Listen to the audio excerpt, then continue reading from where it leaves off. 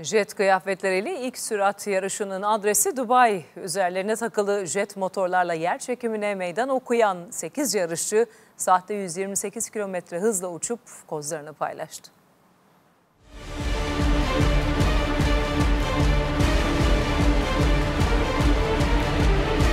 Ordu denedi, kurtarma ekipleri denedi, şimdi sıra işin eğlencesine geldi. Demir Adam lakaplı pilotlar jet kıyafetlerini giydi. İlk yarış Dubai limanında düzenlendi. 8 pilot çoğu lüks otomobilden çok daha güçlü 1500 beygirlik jet motorlarıyla hem yer çekimine hem birbirlerine meydan okudu.